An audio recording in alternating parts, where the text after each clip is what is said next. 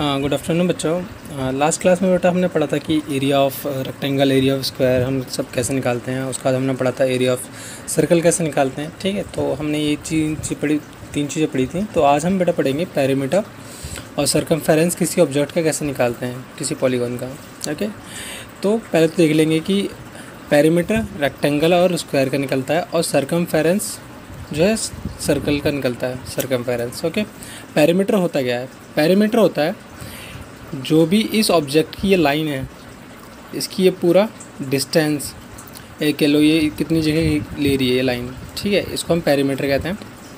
Suppose एक आपका ground है रेक्टेंगल शेप में तो उसकी जो बाउंड्री है, वो बाउंड्री की जो लंबाई है वो कितनी है? वो पैरीमीटर होता है, ठीक है? ऐसी स्क्वायर है, कोई भी एक स्क्वायर कैरम बोर्ड है, कुछ भी है तो उसकी जो पूरी लंबाई चारों साइड में लाके कितना होता है? तो वो पैरीमीटर होता है। ओके बेटा, उसी प्रकार आपका सर्कल का पैरीमीटर जो होता है, उसे हम सरकमफेरेंस कहते हैं। इसकी जो लाइन है, बेटा, ये कितनी जगह ले रही है? ठीक है, उसी को हम सरकमफेरेंस कहते हैं। सपोज़ एक चूड़ी है, उसके ऊपर उसकी पूरी लंबाई कितनी है? चूड़ी की। वो आपका सरकमफेरेंस कहलाती है। ओके तो इस टाइप के हम क्वेश्चन करेंगे। ठीक है तो देखेंगे, पहला क्वेश्चन इसमें बोला है पैरीमीटर ऑफ़ रेक्टेंगल कैसे निकालेंगे? इसमें आपको दिया हुआ है इसकी लेंथ आपको दी गई है पाँच। ब्रेथ दी गई है चार।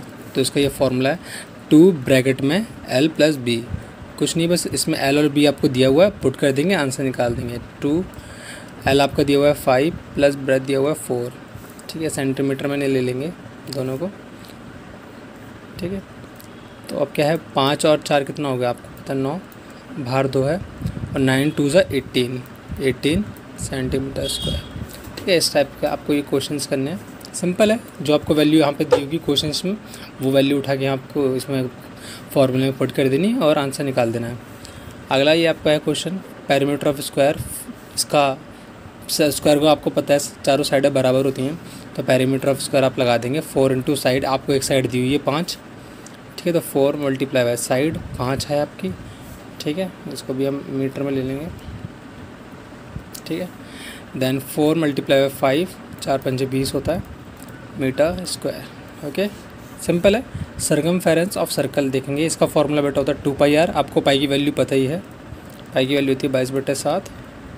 और डेसिमल में होती है थ्री पॉइंट वन फोर कोई सी भी आप यूज़ कर सकते हैं। ठीक है तो टू पाई आर आप इसमें एक सर्कल है उसका रेडियस आपको दिया हुआ है सात। तो इस, इसको आप लगा देंगे फॉर्मूले को। टू मल्टीप्लाई बाय बाईस बटे सात। मल्टीप्लाई बाय रेडियस है आपका सात। तो सेवन से सेवन कट आउट हो जाएगा। और बचा हुआ आपका मल्टीप्लाई कर देंगे। फोर्टी फोर ठीक है, यहाँ पे इसमें भी मैंने सेंटीमीटर लगाया फोर्टी फोर सेंटीमीटर स्क्वायर ठीक है, इस टाइप से क्वेश्चंस मैं आपको दूँगा और आप कर लेंगे।